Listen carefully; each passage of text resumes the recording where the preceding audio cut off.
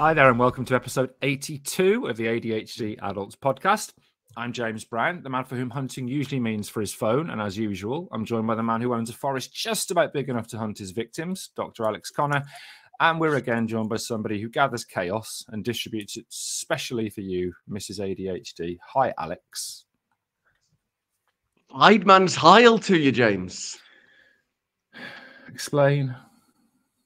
It's a hunter's greeting from the uh, from from the like Austria, Bavarian, Hungary regions. Weidmann's Heil, and and if you, if you said it to hunter, they say thank you. It kind of means good luck on the hunt.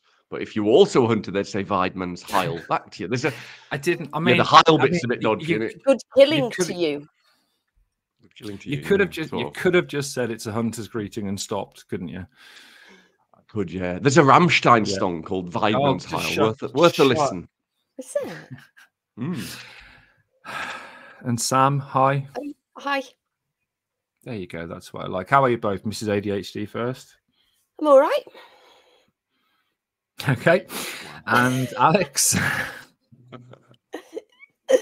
I'm excellent, thank you. Our audience and I notice what you've done to the script, James. Our audience carries on growing like my head, which is exactly as wide as it is long, and that that baffles us. Not the head, not my head. The listener number baffles us. But James, one of them has sent us a letter. Hi, Dad. No, this one's from oh. a Sylvia from Kidderminster. oh my God. Hi, Mum. it says, it says, dear team, long time listener, first time writer. It says James promised me that when his dad passed away, I could do these letters, but the little shit forgot. Thank you, Sylvia. But just to correct you, he's a he's a massive, great shit, not a little one. I don't think the letters from Mum would be as nice as the ones from Dad, but um, yeah, interesting. Anyway, carry on. They've only been nice recently because of the awkwardness.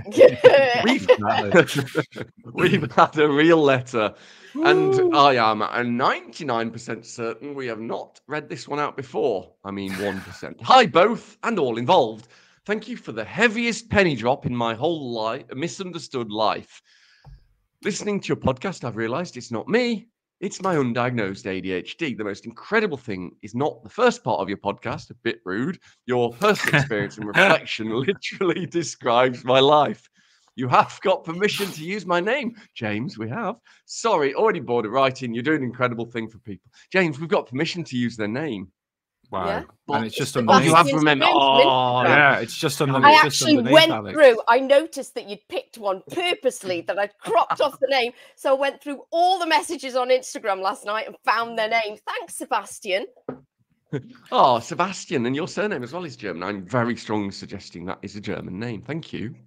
I, I, I think the the take home Good message try. is the first part of the podcast is poor, isn't it? Really? yeah, it is a bit. We also, I'm sure we've read, we haven't read that out, but someone else has said it's the heaviest penny before. 'cause we thought, um, James, haven't we, about calling? Yeah. That's We- because yeah. James This the- tells people all the time that. Ah, maybe it is. The heaviest penny was going to be the name of our Yeah. book. Internationally, we're still increasing by uh, what must now be accepted as ludicrous and made up. Let me check. One country a week, and it is again. Let me check. 145 countries. The new Oh, country wow. is Tanzania. Tanzania. Oh, no. And we've, de- so let me say, probably for the first time, maybe second. I mean, we have definitely done this before. It's impossible to ever know. No one can check. A big old deer. oh, ooh, a big Oh, oh, oh. Havari Tangazo caribou to a possibly, definitely single listener base there, or listener who has visited the support and used free Wi-Fi 35 times. The support, the country, How many So countries visited- have we actually got? 145. Sam, haven't, as of no, you've I don't know just- you've just- You've just What you've you just Ron doing? Bergen did that. You've just Ron Burgundy did that, haven't you? By Mhm, reading out what yeah. was on the script without thinking. Visited Yeah, the yeah, support. the country. I meant the country. Anyway, as times. usual, Go fuck yourself, San Diego. as usual, this 1980s school toilet roll, also known as greaseproof paper, that could exponentially increase the amount of shit in your arse cleft of a podcast, is a tragedy in three parts. We choose a theme. Last week was not about the subject that's in there. Last week was about seasonal affective disorder and ADHD. You sure No, it it wasn't, wasn't. about late diagnosis? Oh God! See, I've we've got it all wrong, haven't we? Because the numbers. Yeah, it's about. Sorry, it was about late diagnosis of ADHD with the brilliant Hannah Walker Brown. Fuck that right up. Brilliant. And this, this- and know. this week, and this week, which is definitely this week, not three weeks' time or two weeks' time, we're focusing on something that's increasingly being talked about as people are writing about it in books and stuff, and that is that ADHD, um, if you like, is evolutionarily preserved from when we were hunter gatherers, and then it's all when we became hunter farmers, and modern society's fault for us having ADHD. The three parts, as usual, include Alex the Psycho education monkey, verbally masturbating about ADHD and evolution, Hello. our personal reflections on the topic, and and the third, and you know what, I don't, I don't even know how we do top tips on this. Top tips for what? Being a hunter. I mean, Alex will. Evolution. Learning how to gather. Hey, how to evolve. We didn't really think this through, did we? So, Alex, I know that we're going to talk about a time that's pre Henry VIII, you know, and, and the Reformation, which means you'll get bored. So, before you do, tell us about the ADHD hunter gatherer theory. So, thank you. As I've explained before, James, this is not the hunter-gatherer theory. It's a hypothesis, not a theory, Fucking hell. which is a proven hypothesis, or or even a theorem. If it were mathematical and proven, that's not important. Behavior. How we behave is defined as the way any organism responds to stimuli in its current environment. So our behaviors as people with ADHD are often different. I mean, both from each other often, and also from the behaviors of people who don't have it, the thing. One branch of evolutionary biology studies how natural selection shapes our behavior by its survival value in general in the population. Right, sorry about this. We have to tell you something about evolutionary advantage and survival of the fittest. They probably don't mean what you think they mean. They might do. So, advantage doesn't mean good, and fittest doesn't mean fittest. Sorry. Those two words mean that any behavior or trait stayed in the population longer. That's it, nothing else. Sometimes for a reason, but equally as likely just a completely random event that it's happened to stay in rather than any actual advantage. Could be blind luck that a trait happened to be common in a place where there was lots of food, for example. So it, hung around like a bad smell, James. So things being an evolutionary advantage is only ever past tense. Evolution doesn't predict, it's not going anywhere. There's no drive for evolution. It doesn't tell you anything about what will happen next or what is, in inverted commas or rabbit ears, best. Some traits obviously were dead useful, like an aardvark's tongue. Ding. Some weren't useful at all, but hung around, like James's hair. But advantage and fitness, survival of fittest, just means these did survive. Past tense, boring, I know, but important. And yet, Yeah. it's still a common belief that psychiatric disorders, defined as those significant behavioral or psychological patterns associated to distress, disability, increased risk of suffering, death, pain, disability, loss of freedom, are in general correlated with lower fitness, which remember only means lower likelihood of surviving in a population over time, and therefore are less likely to be passed down to our children. So, we're, I don't know, we're probably about 10 minutes in. You know what I'm going to say. Yes. Oh, ADHD, so much, so much meat. Is that is that staying now? Is is that staying? Is It's it? the only like accent I can do. In contrast with these findings, early studies looking at ADHD suggested that ADHD had some genetic variants, which is a posh word for mutations, James, which is a posh word for changes.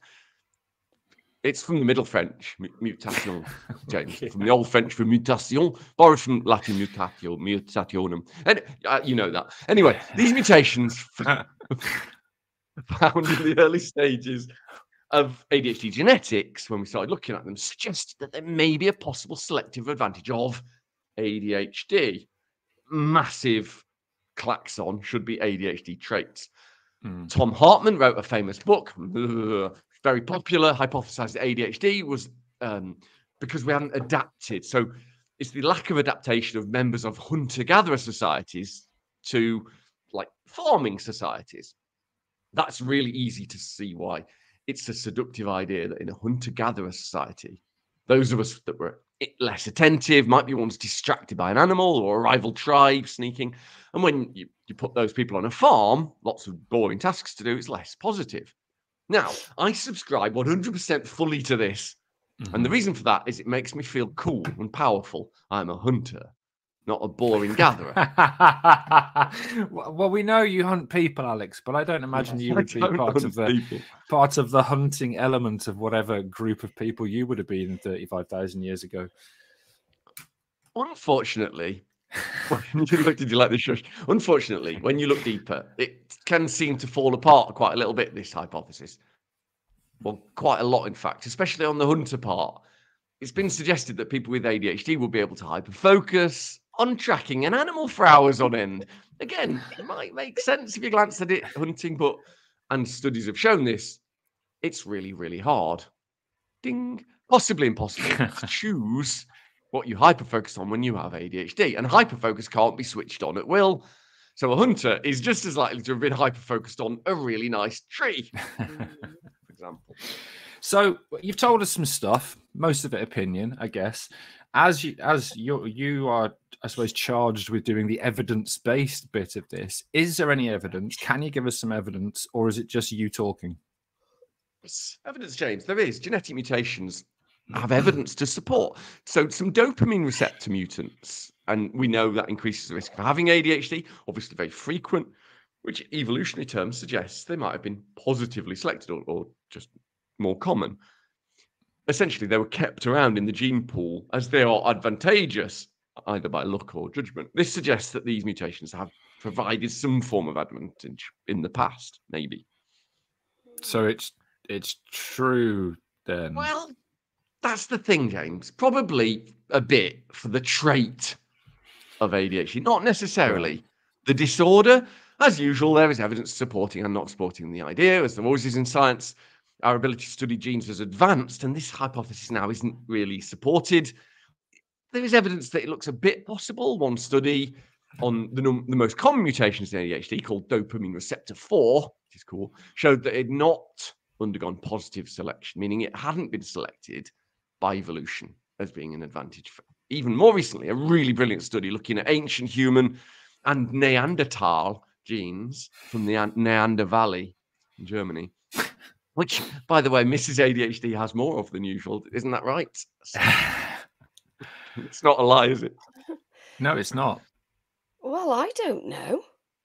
Well, a relative, a first degree relative of yours recently did a DNA test, which came up oh, with a yeah, higher yeah. than average amount of Neanderthal genes. So it's it's it's likely, isn't it? Yeah, that's true. Oh my god, yeah. Lord of the Rings is true. He fucking no, no, it's yeah. not. They also looked at fifty thousand, more than fifty thousand modern day folks and the frequency of these so called ADHD risk mutations has been reducing evolutionarily over the past, this is the thing, 35,000 years. And so they did notice this disadvantage. So, kind of preceding the office environment just a smidge.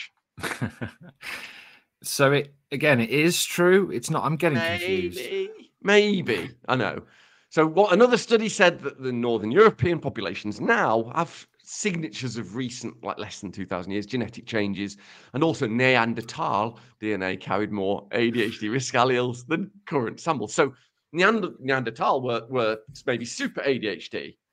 They they they did not survive. I think you, missed a good, you missed a vampire joke there. I think recent oh, signatures oh, yeah, of yeah, 2,000 right, yeah. years ago. You know when James was it was big. That was open goal. yeah, open open goal, mate. Damn it. Right. So here's the message. Final message. Traits of ADHD are important and may be useful. They are important for everyone in the whole population. A bit like how we don't want to be massively too tall or too short as humans. It's good that we have some shorter, some taller people. So the average is about right. But to maintain that variability, some people's genetics accidentally have too much or too little of them. So they might be way too tall or way too short that isn't healthy anymore or even helpful.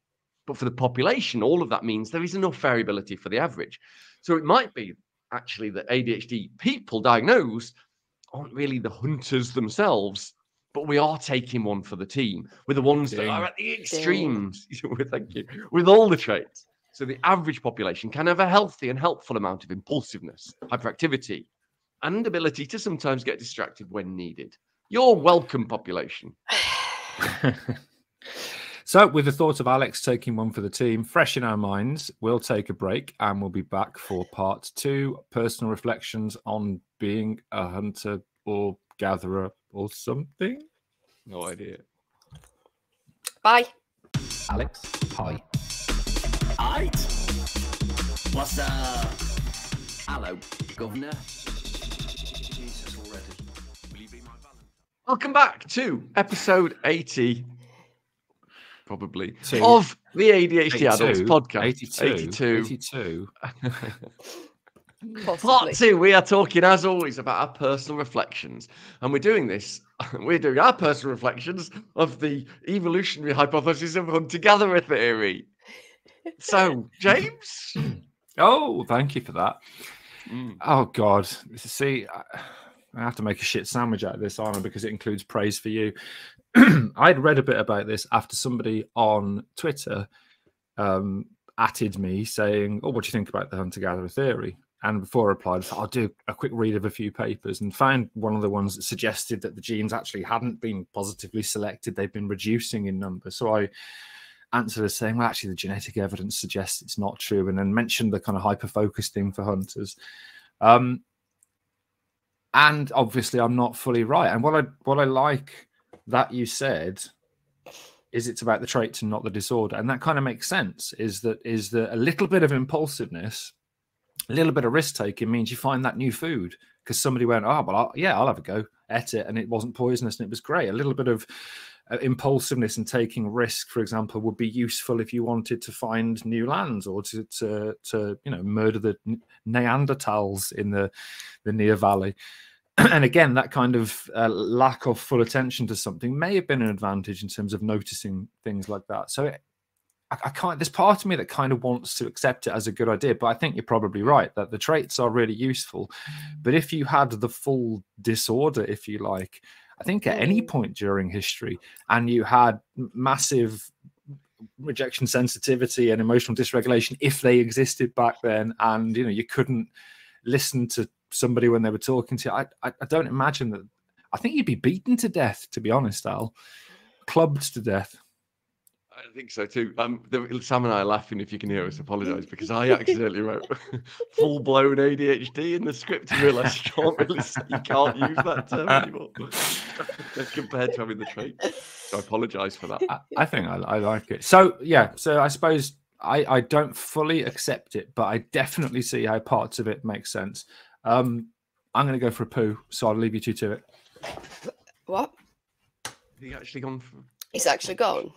I mean, we can edit in post. He could have paused it. What about you, Sam? What's your reflections on the hunter-gatherer hypothesis? Please, not Lord of the Rings. Oh God, that's what I was going to talk about. I, I'm so made up though that it's real, but um, I don't it's really real. know. No, but it, that's how it was, wasn't it? There were lots of different things, like Humans, Not- types of human. types of human. Is that what they Yes. were?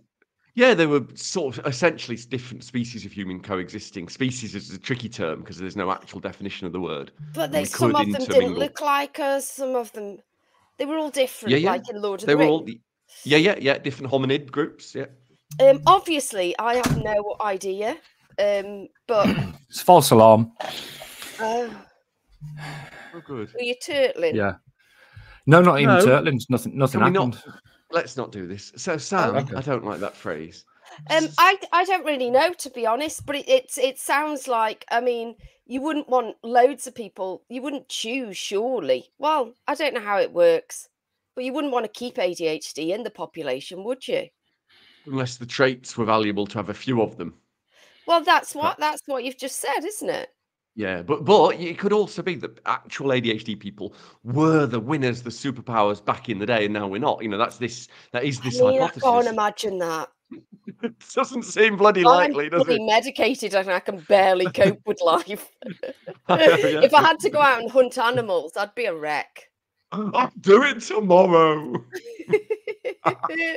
We're starving to death, Alex. I don't want to. I'd rather look at this flower today. I literally can't move.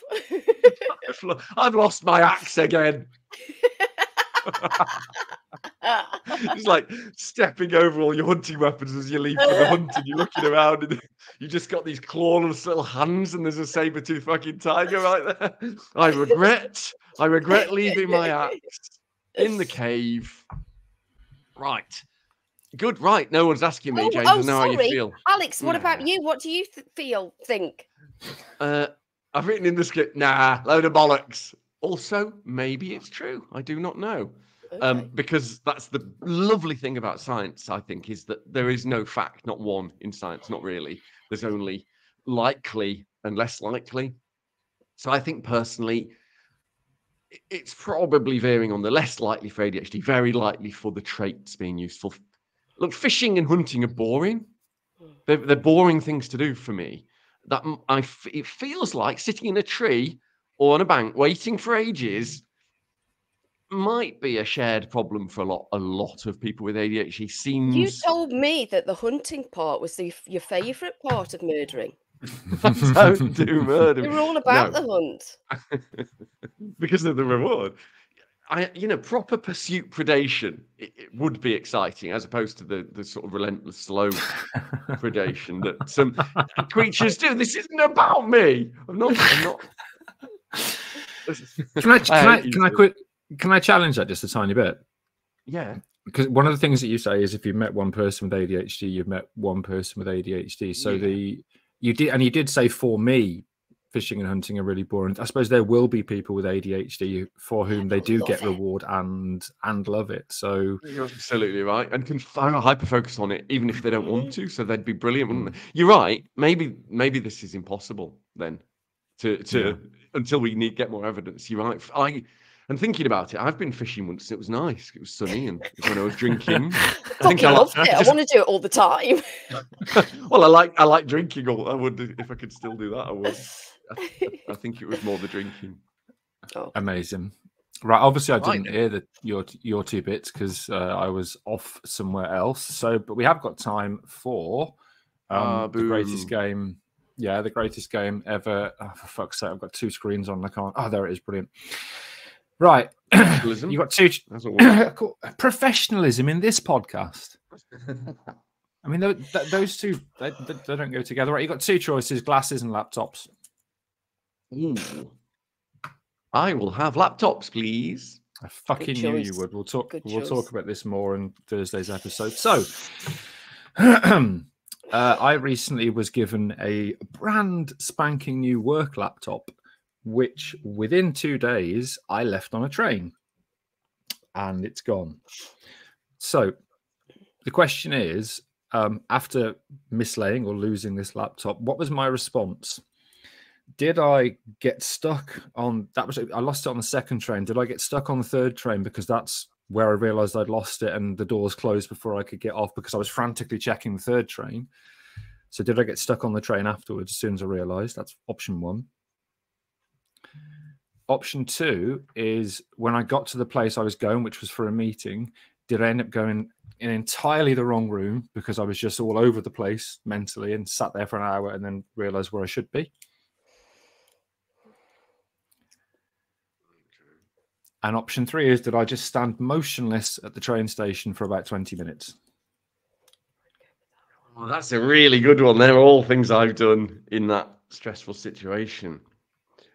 Uh, oh, do you mean third train you checked, or you were on the third train you took? I was on the I was on the third train when I realized, hang on a minute, where's where's the other laptop? And, and it was just as I was pulling into the the station I was arriving at. Right. I think that it isn't the third train because the chances of you getting on three chains and not being pulled over by the police is unlikely. I don't think you spent an hour in the wrong room because you can't spend an hour in any room without wandering off. So it's paralyzed. You stood on the platform paralyzed for 20 that one. minutes. Oh, look at his face. I can tell. Come Yes, on. w- we all know you'd pick that one, Sam, because you said, "Yeah, I'd go with that one." Very quietly. I didn't hear it. oh yeah, no, you're right. Yeah. So I almost got Sam I almost winning. got caught. Four three, yeah, four three. I almost got caught on the train. I actually had to. I stopped the doors on the train, stood in between them, and stopped them because I was so panicking. don't know what on, to if it's do. on this, yeah, if it's on this train, and so ran quickly back in, looked everywhere, then sprinted out as the doors were closing. I didn't go to the wrong room, but I did sit in a room for an hour because Really? I'd got the start time wrong, and I just sat there thinking, "Where, where is everyone?" But yeah, no, I got when I got to the station, I just stood there for twenty minutes. Wanted a fag, but didn't have a light, and I just stood there like, "What? What, what do I do? Oh. What do I do?" completely understand. I've done that paralysis. I do it all the time. If I if I'm at the kitchen sometimes and I don't know whether to wash up a cup or go and put something back in the fridge, I won't do either, and I'll just stand there. And I don't. Yeah. I can't. It's failure to launch, isn't it? And it's. I think it's when you've got function. decisions to make and you can't make the decisions. Yeah, it, it It's it's literally a symptom of Mm. ADHD. Yeah, it, it's overwhelm as well. I was, I mean, I, I we'll talk about this on yeah. Thursday. I was obviously in a really bad place anyway, and this just added to that fucking heap of shit. And it was just, I I just felt completely overwhelmed with, oh my god, I'm going to get sacked. And yet the, the, the response to me losing it, which we'll talk about on Thursday, was brilliant. It was just like, ah, I don't know what to do. I uh, on the plus side though, I'm winning your shit game. Three. Yeah, whatever. Time for time for a break. See you for the worst ever top tipics in the history Oh. of this podcast in part three. See you in a bit. Trump. See you later.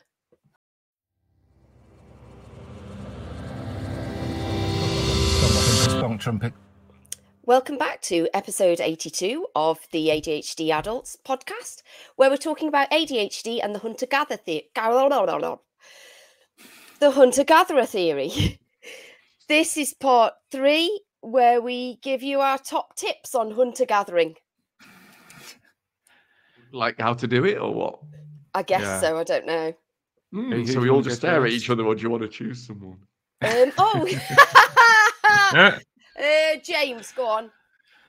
Oh, yeah. So obviously, I haven't got the same level of experience of hunting people as Alex. So what I would what I would say what I would say is we've talked about this a lot, and again, I don't want to give Alex credit, but I do like his. If you've met one person with ADHD, you've met one person with ADHD. Um, quote, which he probably stole. Um, and so therefore, you know, you be you. There are people that um th- that read books because let's face it, nobody reads scientific articles. They are very fucking boring and they are written in language to stop people who aren't scientists from understanding them. So that's one of the reasons some popular scientists write books. What I would say is books can often be opinions. And I'll give the example of Gabor Mate and somebody at one of my talks, Alex, came up and said um, they're a big fan of, of his work and explained their ADHD because they had had a traumatic experience. And I said, that, that's fine. I, I think it's important that you can accept that. And they went on to say, you know, have you read his book? And I said, no, I you know, tend to read the literature. And they said, well, he's even got case studies in there.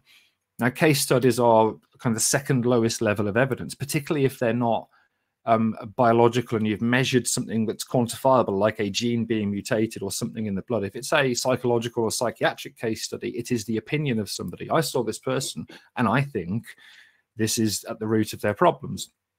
And therefore, if you're going to read a book and genuinely want to, to, to kind of see, if you like, if it is an opinion or fact, they'll often be referenced. So often a good book will have either notes at the bottom of the page or a list of references at the back where they've taken information from you know evidence-based sources to help form their opinion so for things like this that's all i'd say is you can kind of believe what you want but please don't challenge me at my talks because i'm fragile what about you Yeah. sam Oh. he is fragile. Top tips. Top tips, Yeah. yeah, for hunter Please gatherer don't theory hypothesis. James at his talks. He's not. Yeah, that's. He's very much a gatherer. anything to say. Yeah. that's no that's normally my position what about you al I'm not sure I should do the joke that I wrote. I put for my top tips. Do it. When hunting people, make sure you have a territorial advantage. Forewarned is forearmed. And I know I don't need to say this, but a constrictor knot is the most effective ligature knot. no, not really. So, so, so essentially, this is about understanding the terms and context of what evolution is. People, in, including me, want evolution to be a sort of drive for better, for improving. It isn't. It, it isn't. That's not what evolution is. It's an observation. of what has happened in the past. And nobody knows. Nobody knows why traits survived. We only guess. People want to explain why we are different because we are different. And, and that might be possible. It might be possible to explain why. But explaining why he sells books and is probably messy. There's a really famous quote for every complex question, there is an answer that is clear, simple, and wrong. And I think assigning all ADHD ADHD to trauma. Some ADHD is definitely caused by trauma. Assigning ADHD, all ADHD to we were the hunters as sort of a separate group. All of that is clear and simple and, and makes sense and makes you feel good and is almost certainly at least partially wrong. Is that the most depressing fucking thing ever? No. Dude, I wasn't listening. I don't know. Um, That's all I'm yeah. saying. so, product recommendation of the week is if you've got the money, do a genetic test and see if you are more Neanderthal than Mrs. ADHD is. Seriously, though, I think this is important, and I'll talk about this in the next in Thursday's episode. Oh. Um, I I did a DNA test about ten years ago, and it's only now I've looked back at the mutations I've got that I've gone, ha, that all makes sense now. Um, so we'll talk about that on Thursday. So I didn't do. I didn't do a uh, that a SNP test as they call it for mutations, but Yeah. my brother did a a lineage DNA test and it just came back pathetic. Just like, same, same. You've just this one small part of England forever. Mm. Pathetic. Where you can download all of that data and put it through a, uh, a website that gives him all of his SNPs compared to papers. It's called it's called Promethease. Costs you twelve dollars to do it. I personally think it's worth it. Right. Anyway, that was episode eighty-two of the ADHD Adults podcast. ADHD and the Hunter-Gatherer hypothesis, which is also the name of the fourth Harry Potter book. If Probably. somehow you've enjoyed this episode, why not support the charity on the link provided? Because otherwise, Alex will have to dress up as a Neanderthal and be a living exhibit in actually in a museum. You'd probably love that, wouldn't you?